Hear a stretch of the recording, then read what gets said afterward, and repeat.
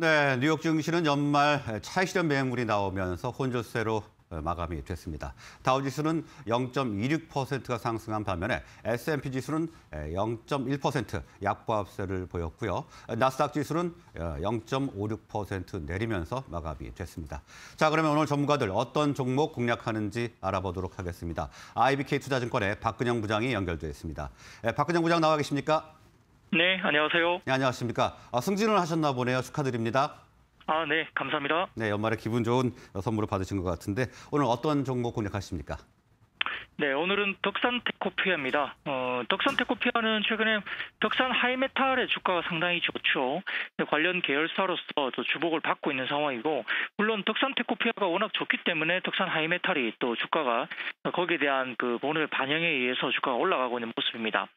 어, 테코피아 같은 경우는 OLED 발광층과 공통층 소재 원료라든지 반도체 증착 소재 그리고 2차 전지 전액 첨가제 등 OLED, 반도체, 2차 전지 모두를 아우르고 있는 어, 라인업을 갖고 있다는 것이 상당히 긍정적입니다. 어, 지난 3분기 누적 기준 매출 비중은 OLED가 59%, 반도체가 37% 정도 수준이고요. 2차 전지 전액은 이제 시작하는 단계입니다. OLED 중간체 사업은 IT 기기 내에서 OLED 적용이 확대되는데 특히 이제 TV 같은 경우는 대형화 면적 대면적화에 의해서 OLED 적용이 적용이 확대되고 있는 상황이고요. 중소형 OLED도 XR 기기나 VR 기기 등이 이슈가 되는 상황이면서 스마트폰 내에서도 OLED 관련된 적용이 확대되고 있는 상황입니다. 애플 같은 경우도 OLED 관련된 부분들을 채용을 확대하면서 결국 면적에 대한 부분들이 OLED 관련해서는 계속적으로 성장하고 있는 모습이 보이는 상황이고요. 여기에 따라서 2022년 22년 매출액은 750억의 매출액이 예상되고 있는 상황입니다. 반도체 소재 사업은 기존 소재 증설과 신규 소재 진입 효과 때문에 내년 매출액이 620억까지 증대가 되면서 올해 대비 37%나 급증할 것으로 보입니다.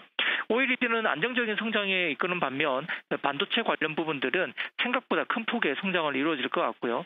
어, 특히 이제 동사 같은 경우는 OLED 중간체 제조에 필요한 유무기 합성 기술을 응용해서 2차 전지 전액 첨가제 양산에 성공했습니다. 이 부분이 핵심 포인트인데요.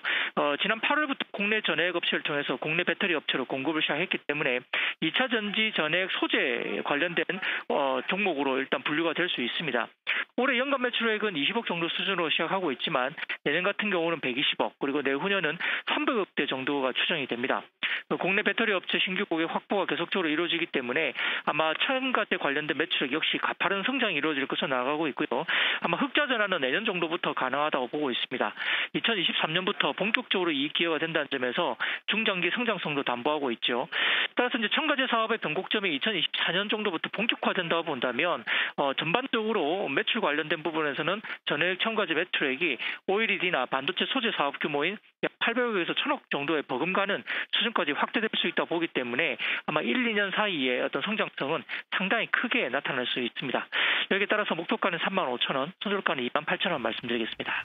네, 덕산 테코피아 아, OLED 반도체 2차 전지 소재에서 동시에 수혜가 가능하다 이렇게 말씀을 해주셨습니다. 목표가는 3만 5천 원 제시해 주셨고요. 자, 오늘 배당락 기준일입니다. 오늘 어떤 투자 전략 준비를 해야 될까요? 예, 뭐 연말 랠리나 연초 랠리에 대한 기대감이 지속되고 있는 구간이지만 뭐 전 거래일 미국 증시에도 우리가 확인했듯이 성장주 또는 주도주에 대한 단기적인 가격 부담이 발생하고 있고요. 미국 같은 경우도 장중에 대규모 환매가 나타난 것으로 보입니다.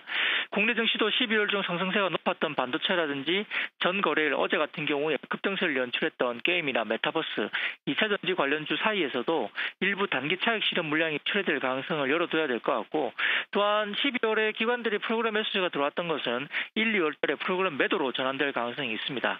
이를 감안시 뭐 국내 증시 같은 경우는 배당락을 반영해서 실질적으로 뭐 빠져서 뭐 약 1.39% 하락한 하락을 이제 이야기한다 하더라도 어쨌든 다소 조금 밀어붙이는 아래꼬리를 다는 모습을 보일 수 있겠지만 그러나 전체적으로 봤을 때 어, 수고래일 동안 금융투자를 중심으로 배당 차익 거래 성격의 순매수가 유입됐음을 감안한다면 배당락 당일인 오늘 같은 경우에는 반 포지션의 성격 순매도 물량도 출해될 가능성도 열어놔야 되겠습니다. 따라서 지금 대, 그 대형주 같은 경우는 프로그램 매도세에 대한 물량 부담, 기관의 프로그램 매도에 대한 물량 부담이 다소 있는 상황인데요. 어, 지난 뭐 코스피 코스닥 시장에서 3조 원이라는 역대급 순매도를 기록했던 개인 투자자들은 재차 중소형주 중심의 순매수가 이루어질 수 있기 때문에 많이 빠진 낙폭과대 그리고 실적이 내년 우상향되는 종목 업종군 중심으로 해서 집중적으로 어, 분할 매수 전략이 충분히 가능하다 볼 수 있겠습니다. 네, 단기 차액 실현 매물이 나올 가능성을 열어둬야 한다 이렇게 말씀을 해주셨습니다. 오늘 말씀은 여기까지 듣겠습니다. 고맙습니다. 감사합니다.